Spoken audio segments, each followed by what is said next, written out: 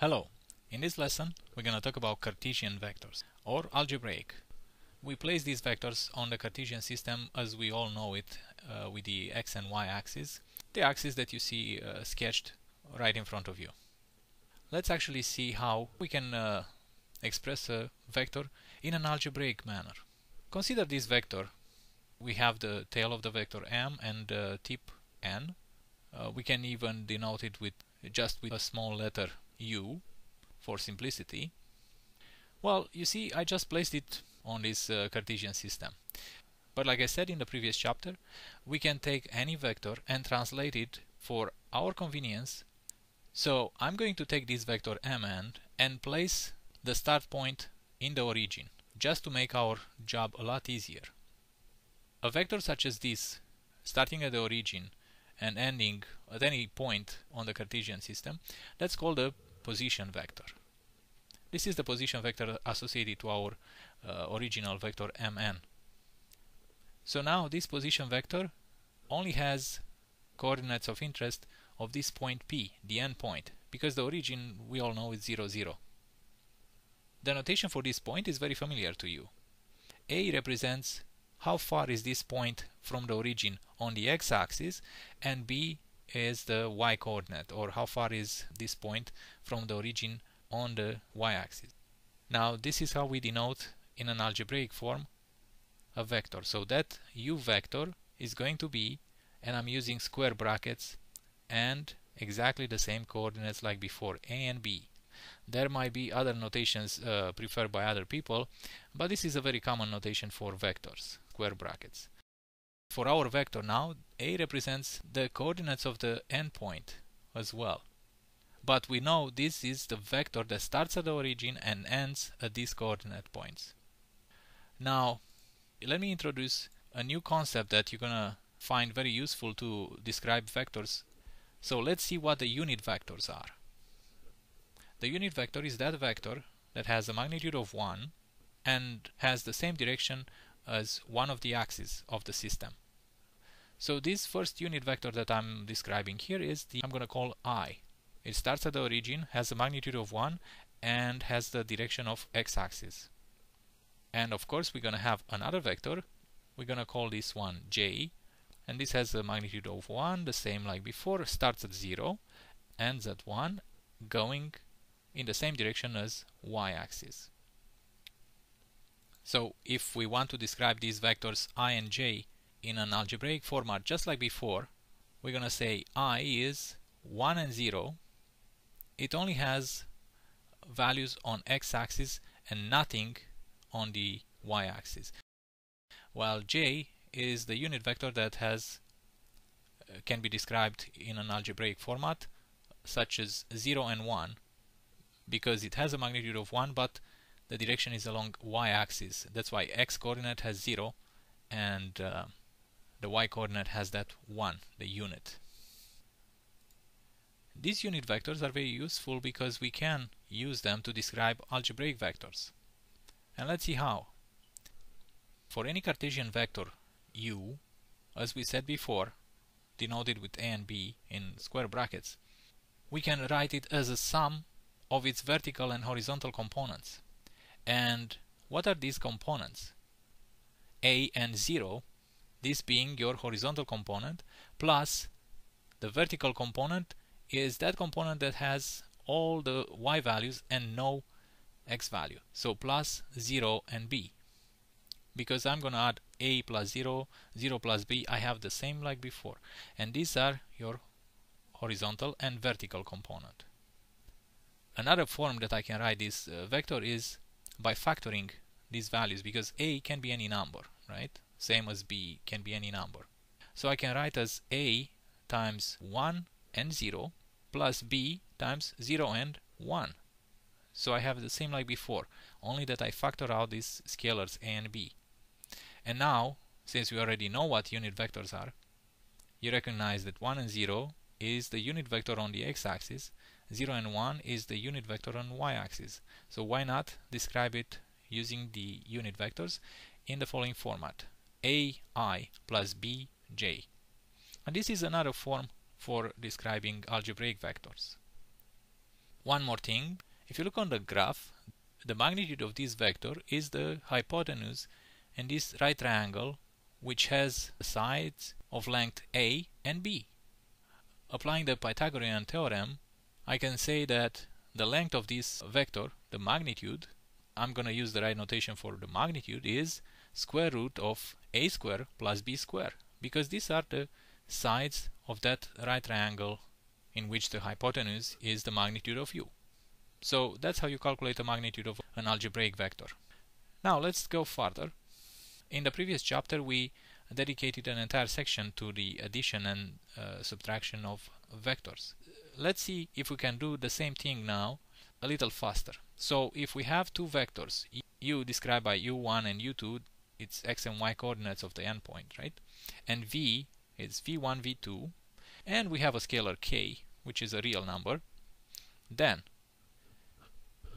u plus v is going to be equal to u1 plus v1 u2 plus v2. Let's see how exactly can we come up with that conclusion. So let's take the sum of u plus v and take it step by step. So u is going to be u1 u2 plus v which is v1 v2. I'm going to decompose each vector in its uh, horizontal and vertical components. u1 times 1 0 plus u2 times 0 1. The same for the v vector. So v1 times 1 0 plus v2 times 0 1. You notice how 1 0 it's a common factor for two terms while 0 1 is a common factor for the other two terms. So let's continue and factor this out.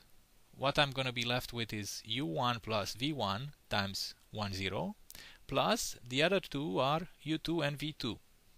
So u2 plus v2 times 0 and 1. What do you recognize? So first is the x component, second is the y component or the vertical component. So the vector is going to be u1 v1, u2 v2. That's exactly what we said in the formula. Now let's see if we have subtraction of two vectors u minus v is going to be u1 minus v1 and the y component is u2 minus v2. And once again I'm going to prove it. So let's express this difference u minus v is going to be and use the algebraic notation just like before. So it's going to be u1 u2 minus v1 v2. This time I'm going to use the unit vectors. So instead of u1 u2 I'm going to write u1i plus u2j and the same for the v vector and I'm gonna write it in parentheses so I can keep the same sign in there. So minus v1i plus v2j. Again, I find a common factor of i and a common factor for two terms is j. So I'm going to factor i and j and what I'm being left with is u1 minus v1 times i plus u2 minus v2 times j. And once again, I recognize this is the, the way you can describe a vector. So this is the resultant of the difference of two vectors. Going good so far. Now, what happens if we have a vector multiplied by a scalar? Well, k times v equals to k times v1, k times v2. So each component, horizontal and vertical components, are both multiplied by this scalar. And uh, we can prove this just like before. I'm going to say kv and express v as v1 and v2 in an algebraic format or I can actually go further just like before using the i and j, the unit vectors, to express this vector v. Now you can recognize how this is just simple algebra. It's going to be kv1i plus kv2j. And once again, this is going to give you the vector kv1, kv2, just like I said in the formula. Now, for a position vector, it should always be very clear and very easy to calculate. But what happens if I have a vector that doesn't start at the origin and doesn't end at the origin either? Let's have a look at that. So, on the Cartesian system, if we have a vector, as you can see between p1 and p2, right? I have a vector. Well, I have already constructed the position vector from origin to p2 and um, I also constructed this other vector p1 to the origin. P1 is O. P1 has the coordinates x1 and y1 and P2 of coordinates x2 and y2. The vector P1, P2 can be expressed in an algebraic format such as this x2 minus x1, y2 minus y1.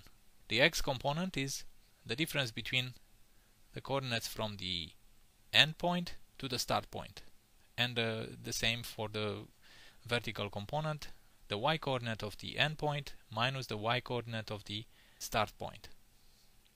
Let's see how we can uh, demonstrate such thing. From the beginning I constructed these two other vectors for which p1, p2 is the resultant vector. So let me just use the knowledge that I have from geometric vectors, the triangle method for addition of uh, two vectors, to express this vector p1, p2. So I'm going to say p1, p2 equals to p1o plus op2. This is based on the triangle method from the geometric vectors. Now, I try to make the connection with this chapter. I know that the position vector OP2 is exactly what I'm looking for. I know how to express this in, in an algebraic format. But P1O it's kind of the opposite of a position vector, right? But it's exactly what I needed. Well, let's express this P1O as a position vector.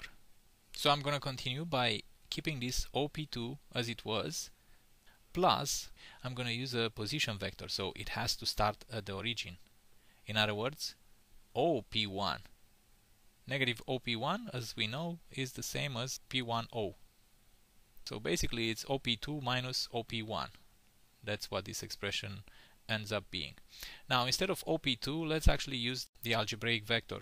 This vector OP2, it's a position vector. So it's going to be x2, y2. And OP1, again, is simple. That's going to be minus x1, y1. So it's going to be x2 minus x1, y2 minus y1. I told you from the beginning that's how you express a vector p1, p2, right? Let's see how we express the magnitude of this vector. So just like before, but using its coordinates, the magnitude of p1, p2 is going to be equal to square root of x2 minus x1 square plus y2 minus y1 square.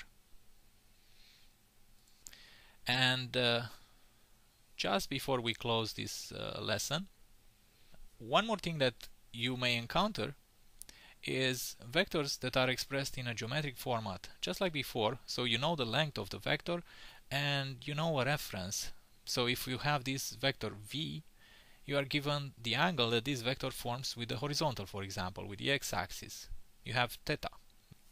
Well, I can use its vertical and horizontal components in order to express this geometric vector. And we know how to resolve any vector in its rectangular components from the last lesson of the previous chapter. So we know that on the x-axis, this component is going to be the magnitude of v times cosine of theta.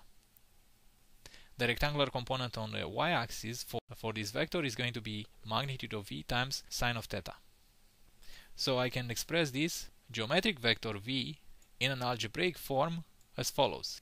Magnitude of v cos theta and the vertical component is magnitude of v sine theta. First of all, this is how you express vectors in an algebraic format and also you've seen how uh, to connect geometric vectors with algebraic vectors.